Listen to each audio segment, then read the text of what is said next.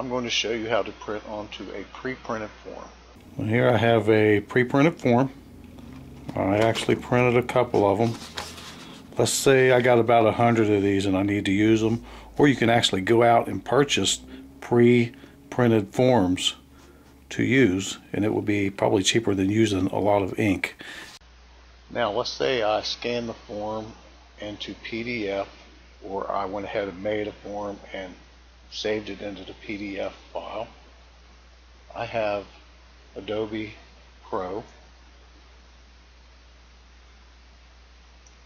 So I'm going to go ahead and create a form.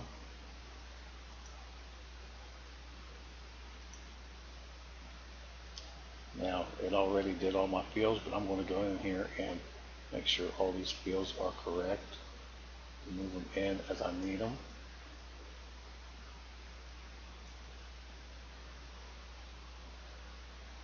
To. Now all I have to do, let me enlarge this a little bit. Okay. Now I got my form field made. I can actually go and save it. Save as PDF. Give it a name. This is official form field. Overwrite, yes. Okay, I got my document printed out. Now I can save this as a file.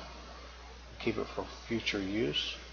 Where I can go up here, go to print. Okay, now in here, you'll have the current view right here. Now I have my pre-printed paper in the printer right now. Now all I have to do is go up here where it says comments and forms. Click and go down to where it says form fields only.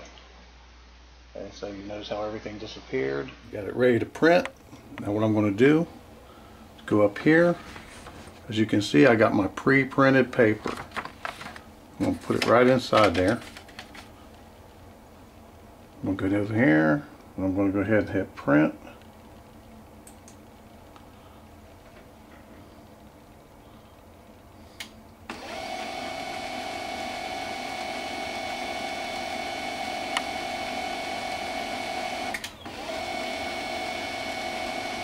It warms up, here it comes.